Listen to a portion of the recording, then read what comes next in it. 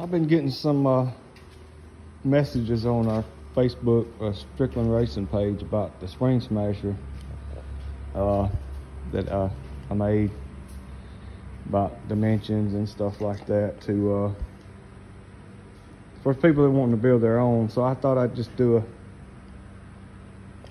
little update video on it to and put the measurements on there and maybe cover it a little more in depth and uh, that way you know obviously you can see what I made it out of and you can you know maybe build your own but uh I just used some scrapped scrapped uh what do you call it? scrap scaffolding I think it's the smaller style scaffolding but uh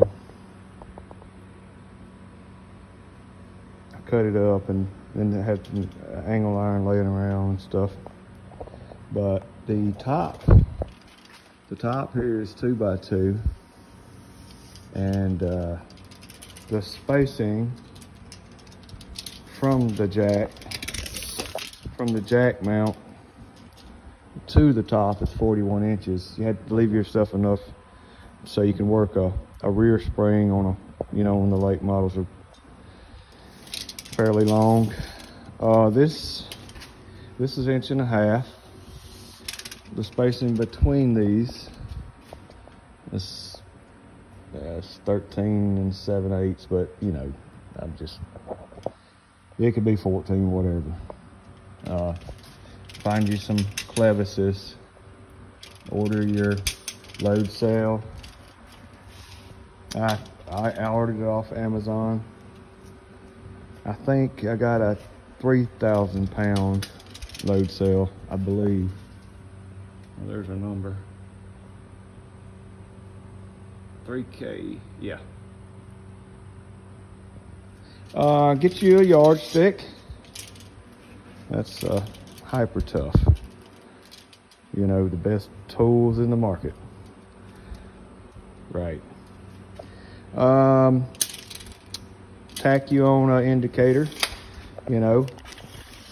I mean, you're not, you know, I'm not saying anybody can't figure this out, but get your center to center measurement. When you get this thing built, obviously, set your uh, indicator up here. And that makes it really easy to do. You start smashing your springs.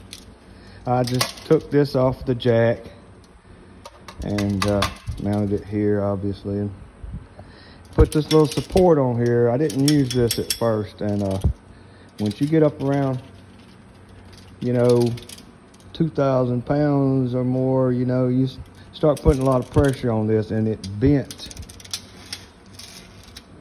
uh, it bent the mount over over a little bit so I welded this little support in here Actually, it would be nicer if you made something to support this piece all the way up and down, but I hadn't I hadn't had any problems since then.